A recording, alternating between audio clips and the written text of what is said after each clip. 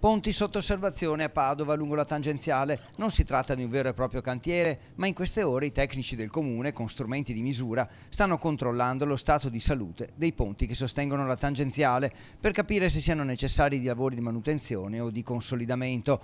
Un lavoro fatto nel più breve tempo possibile che provoca qualche inevitabile disagio nelle ore di punta. Lavoro segnalato anche dai pannelli luminosi presenti in corrispondenza degli autovelox. La sicurezza delle nostre infrastrutture è una priorità per questa amministrazione su alcuni ponti siamo già a lavoro, sono anni che non si mettono le mani. Dopo il cantiere estivo che ha ristrutturato completamente il ponte di via Vigo Novese, ci sono oltre 200 ponti che attendono una verifica lungo la tangenziale, i più delicati. In questo periodo stiamo facendo la verifica di tutto il tratto che serve alla zona industriale. Questa è una verifica importante perché eh, coincide anche con il tratto in cui eh, questi attraversamenti sono più sollecitati, specie dai carichi, eh, dai carichi pesanti. L'obiettivo finale è quello di far transitare in sicurezza i tir oltre le 44 tonnellate di peso e questa verifica infatti è fatta in sinergia con gli autotrasportatori. I risultati dell'analisi arriveranno in brevissimo tempo e serviranno per gestire il transito dei mezzi super pesanti,